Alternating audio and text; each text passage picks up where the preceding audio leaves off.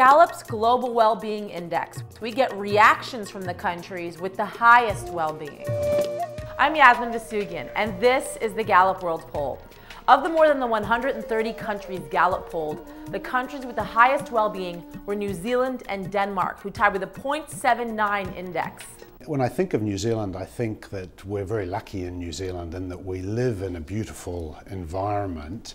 And in addition to that, I think we're also lucky in that New Zealanders generally, their financial security, um, their health, uh, the, the social policies of New Zealand all support people being able to get on with life without having to worry perhaps the way they do in some countries um, about you know something awful happening to them.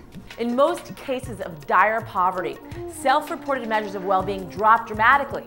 But in Denmark, that's not the case. It stays constant, even for people who make below 2,000 euros yearly. I think we have a long tradition of, of having a high level of, of social security. So even if you have a very low income, you, you can have a decent housing, you can have, your kids can have an education, you can go to the top hospitals in Denmark and you can still be treated. So even if you have a low income, there is a number of services that the society provides for you. Canada came in third with 0.78, followed by Australia and Venezuela at 0.77. Norway, Ireland, Brazil, and the United States all were at 0.76. And Switzerland, Finland, and Sweden scored 0.75.